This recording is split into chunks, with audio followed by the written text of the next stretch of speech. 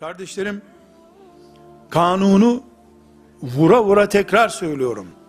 Allah ve Allah'a götüren namaz, Kur'an, zikir, cihat, infak, zekat gibi Allah'a götüren şeylerin dışında bu fani alemde hurma bile Medine'den gelen hurma bile tiryakisi olmaya değmez bir şeydir.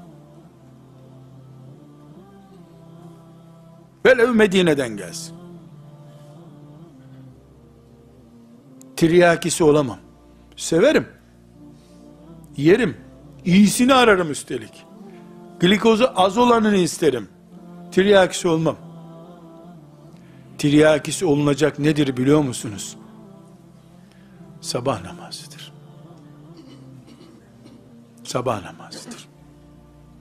Ne zaman yaz gecelerinde bile saati ayarlamadığın halde caminin hoparlörünün sesi gelmediği halde namaza beş dakika kala uyanıyorsan ey alnından öpülecek mümin kutlu olsun senin bu tiryakiliğin.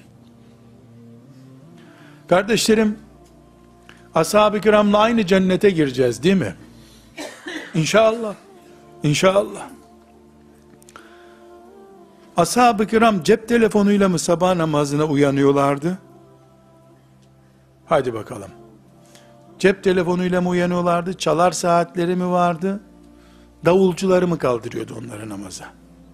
Buyurun. Üç şıktan hiçbiri doğru değil.